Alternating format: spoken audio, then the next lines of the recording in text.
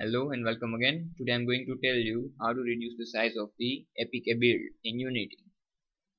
So there are lots of factors that affect the size of the APK. First of all we are going to see how to reduce the size by player settings. There are some settings uh, in build which affect the APK size.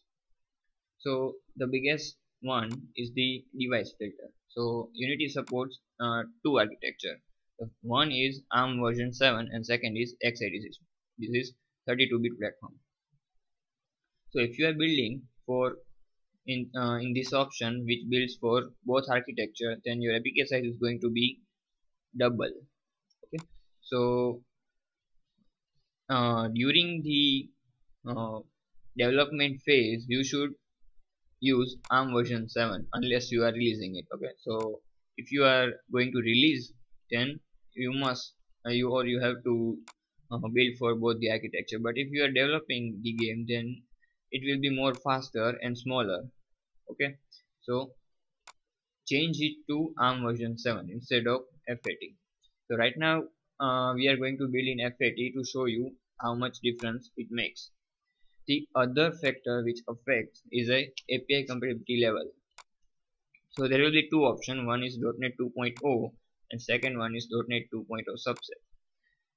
So Unity uh, included .NET 2.0 subset because uh, there are commonly used and mostly used classes and libraries which are included in .NET 2.0 subset which are smaller than .NET 2.0 and it also reduces the size of the final build.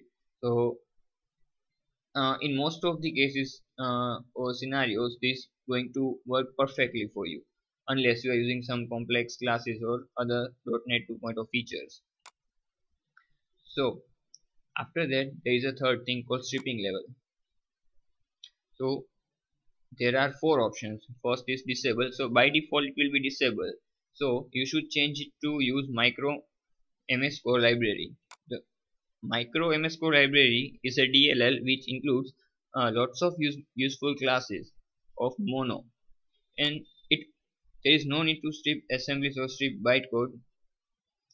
Uh, this is this micro library includes lots of classes which are commonly used so there will be no need to disable it unless there are some plugins which uh, do not support the MS Core library or you have to include some extra thing uh, which cannot be stripped so most of the most of the time this is going to work perfectly.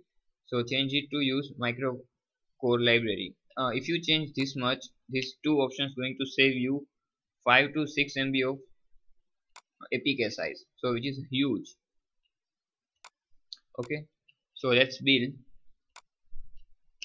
It's a very small project so let's see uh, we name it a uh, build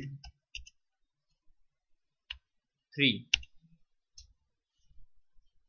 so meanwhile it, it gets built. I'm going to tell you more about the how unity includes the assets. So uh, there are assets like texture and material are included in build only if it's referenced somewhere.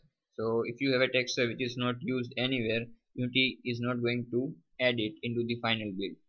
But if you have a texture which you assign somewhere or use somewhere but that material or texture is still not removed okay? Or you used it as a test or for ex experiment but you didn't remove then it is going to included in APK it is going to affect the size. So make sure there is no unused assets in it. It is about to get built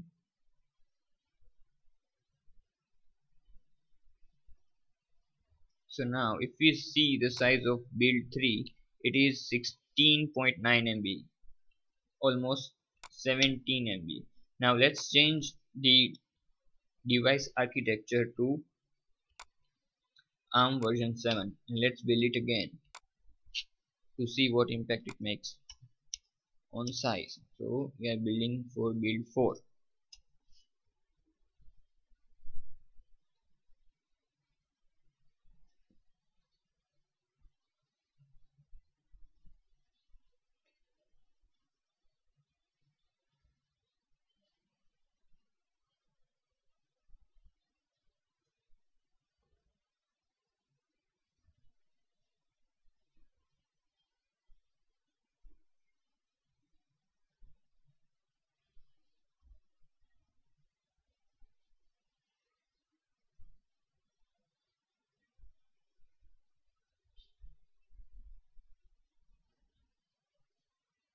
so let's see the size of BB4 and it is 9.42 MB it is almost the half size.